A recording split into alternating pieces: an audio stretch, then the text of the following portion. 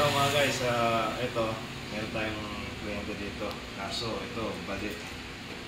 Isa nandito ito, mo, ano eh, dislocate, kaya dito dislocate. Tingnan mo yung buto niya, lapit ng camera. Ayan ang buto niya, gusto lumabas. Ayan o. Pa, yan, ito, ito, yan, ito. Dito na bali. May dalawang buto tayo dito. Bumigay yung buto niya dito sa gitna. Dapat umalign to, tapos sabay i-casting natin. Paano ba to? Ako, hindi ka nag-experience mo pala ako sa Paano ba to? Sabi, parang ano, tubol. Ba't dahil Ikaw. nag-rebound siya ng malakas na ano. Dahil sa basketball, yun yung yaksa niya. Tiga saan kayo? Ano? Sige, kagatin mo na yan.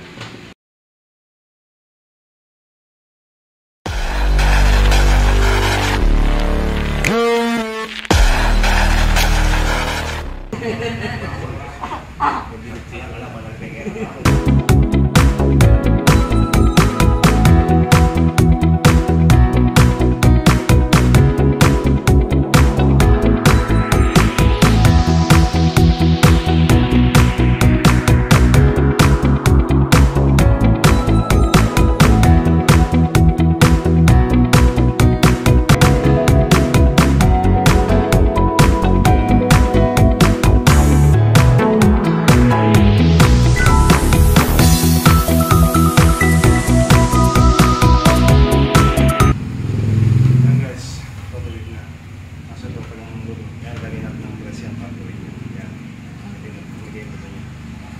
Tapos para tubuhin muna natin.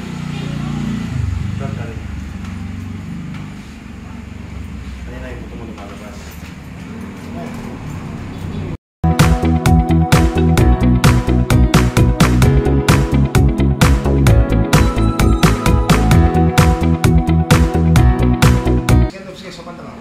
Sige, ano Straight. Oh, Tuturo mo na.